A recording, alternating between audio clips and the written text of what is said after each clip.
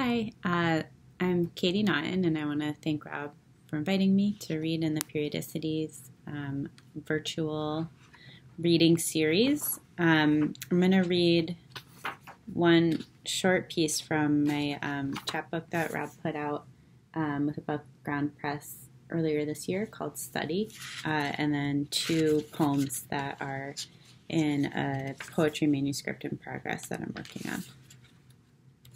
So this is the first essay from Study. It's called Study. It seems the idea comes in a different form every time it comes, each time a new process of letting the outside in and letting the inside out. Uh, what follows will be a long quote from Gertrude Stein's narration via Philip Whalen, via Leslie Scalapino's How Phenomena Appear to Unfold.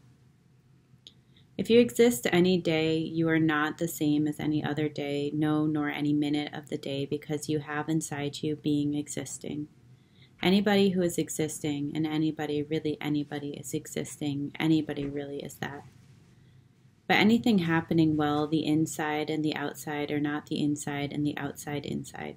Let me do that again. The inside and the outside, the outside which is outside and the inside which is inside are not when they are inside and outside are not inside. In short, they are not existing, that is inside. And when the outside is entirely outside, that is it is not at all inside, then it is not at all inside, and so it is not existing. Do not see what a newspaper is and perhaps history. It's the end of that quote. If I exist today, I am alone in an apartment I used to live in, waiting to be ready to unfold something. It's the dark end of the year, a time in which I am almost invariably spending inside, straining to stay in thought trying to continue to feel like I exist. Anybody, really anybody, is existing. Anybody really is that. While the longest night comes, while the rituals of money and bright fabrics, sugar, cocktails, and light unfold around me, and I am trying to go into the darkness alone and come out again, an encounter with darkness, an encounter with light. Let me do that again. I'm trying to put what someone has written inside of me and outside again with something added to it. I'm trying to put something inside of me outside of me. But anything happening well, the inside and the outside are not the inside and the outside inside. I didn't anticipate the strangeness of coming back to this Manhattan apartment, which still exists as a home for another month, with the same furniture, the same corners and floorboards I've spent hundreds of hours seeing, the same buildings outside across the street, up the slight incline of the street, their lighted windows at night the school I voted in last year, and kids outside every hour. If you exist any day, you are not the same as any other day, no, nor any minute of the day, because you have inside you being existing. I hate leaving places when they stop being existing inside me, when I stop being existing inside them. Of course, they keep being existing, and so do I. Some days I don't go outside. New York is an outside city where everyone lives so far from each other and in crappy and small apartments, so you have to leave them, walk to the train, meet someone in a bar or restaurant. People have the money to go out and get the sense that something might happen when you're out that couldn't happen when you're in. When the outside is entirely outside, that is, it is not at all inside, then it is not at all inside, and so it is not existing. In Buffalo, I feel inside even when I am out. What is the outside? Do you not see what a newspaper is and perhaps history? A long quote from Scalapino's How Phenomena Appear to Unfold. I'm concerned in my own work with the sense that phenomena appear to unfold. What is it, or how is it, that the viewer sees the impression of history created, created by oneself, though it's occurring outside?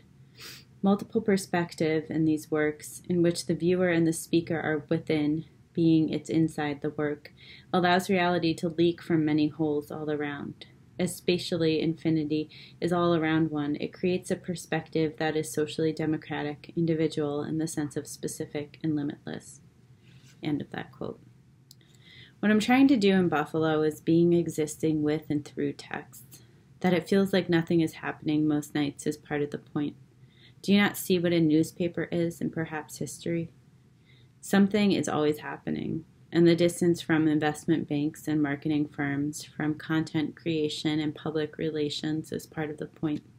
The distance and proximity, from gallery openings and publishing houses. But it seems right to be in Buffalo, New York's second city, to be inside and outside the power, money, culture of New York. Outside the city and out of money, out of power, watching friends accumulate the benefits of privilege and work I chose not to do the beautiful, bright things, the sense of purpose, the dark, close room at the end of the day. Watching friends labor, unrecognized, waking early.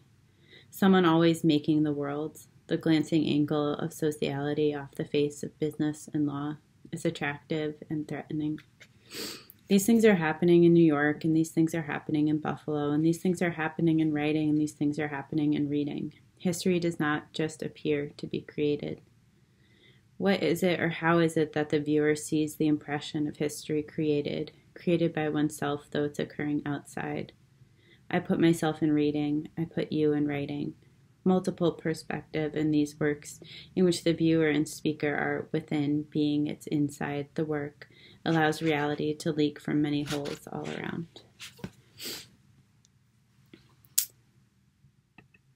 Um, I have two poems. I guess I would call what I just read an essay or somewhere between us an essay and a poem. Um, these are, are two poems um, from a series I'm working on called Debt Ritual. Um, this first one's called Drift, uh, and that word and its usage owes a debt to Roland Barthes' The Pleasure of the Text and Lisa Robertson's Time in the Codex. An idea passes over the city, the lake wanting to be with us, the cloud shade of desire, the void blush accumulating on time and its architecture, like other ideas I memorize or which make themselves in me, and in which I choose of necessity to live. An idea makes good neighbors a good storm, a good way out for someone, I am way in with someone, hearing their teeth and breathing, hearing the orthographic noises of their thinking. I am way in with the city. The way it isn't going, I am not going with it. Something layered on the surface, something stupid and intractable about me. A text, a building, someone else. Some other time was here of this same hasty ritual and its drift, what gives and what is given back. Um, second one is called Debt Ritual Grain, um, which owes a debt to Roland Barthes, The Grain of the Voice. These are the only two that, that are Barthes indebted directly. Um, I never wanted money anyway. I wanted texture, which money seems to have its own texture, not the texture everything else has. Like you can pay for thoughtfulness that smooths what you want to be smooth and make particular what you want to pay for. To make money life like, but like life that's money like, singled out and beautiful, which makes art a problem confused with money. Me too, it seems, having sought a textural pleasure written into wanting, patterns of light and shadow on the faces of people from some other time or place put to film or imagination or memory, coming out of a dark room onto the street in the middle of a workday in an expensive city, and believing a way to feel this, the grain in money, as a grain in money, my voice, my hand, the lemon, the leather, the light I bought, I wrote to place myself to make a name. Thanks, Al.